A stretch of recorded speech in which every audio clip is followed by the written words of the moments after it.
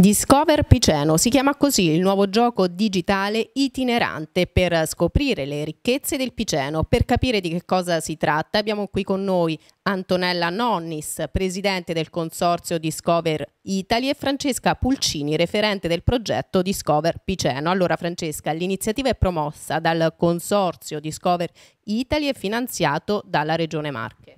Sì, abbiamo aderito a questo bando con convinzione perché il turismo ormai deve passare anche dall'innovazione e questo eh, progetto va proprio eh, in questa direzione perché ormai tutti siamo abituati a visitare le nostre città, a conoscere e scoprire attraverso i nostri cellulari e quindi abbiamo voluto mettere insieme tradizione e innovazione eh, per, part partendo dalla, eh, diciamo, dalla straordinaria bellezza della città di Ascoli Piceno per sperimentare una caccia al tesoro 2.0. Quindi eh, questa applicazione permetterà di eh, scoprire dei luoghi inediti eh, a secondo due percorsi, uno classico, una Ascoli classica e un'Ascoli romantica, eh, proprio per eh, diciamo, permettere ai turisti di visitare in maniera ormai sempre eh, più innovativa le nostre città.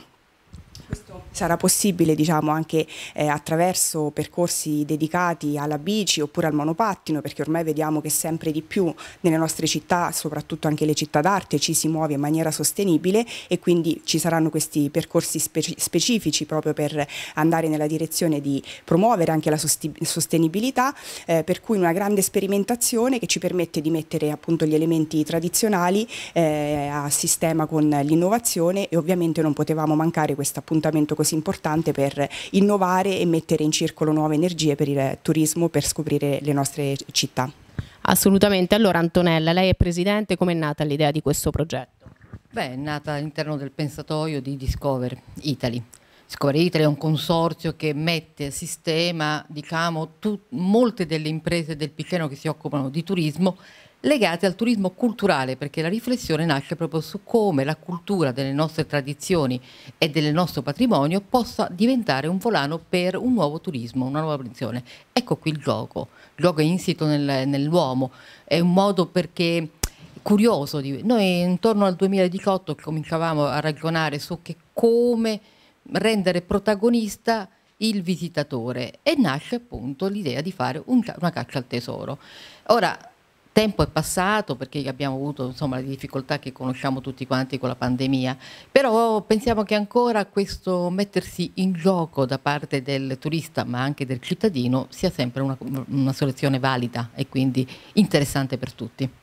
Allora abbiamo ancora qualche minuto a disposizione se volete aggiungere qualcosa. Sicuramente invitiamo tutti per la presentazione ufficiale che faremo della nostra app, quindi continuate a seguirci sia sui profili eh, social che sul sito del, del, del, mm, Consorzio Discover Italy dove racconteremo, daremo l'appuntamento per fare questa prova zero che ci permetterà di eh, ovviamente non scoprire completamente ma dare un assaggio ai eh, turisti ma anche ai cittadini perché poi non dimentichiamo che spesso anche noi eh, che abitiamo questi luoghi non li conosciamo fino in fondo, non conosciamo eh, poi anche aneddoti, eh, storie e eh, diciamo mh, mm, simpatiche eh, vicende che sono accadute nei nostri territori e che invece purtroppo eh, rimangono in quella tradizione anche raccontata che spesso quindi sfugge. Quindi grazie al lavoro anche delle guide che stanno eh, mettendo insieme questo percorso sarà possibile eh, diciamo, scoprire in questa modalità così innovativa e simpatica ehm, questo territorio. Mm, ci tengo a dire che ovviamente essendo una caccia al tesoro, essendo un gioco ci saranno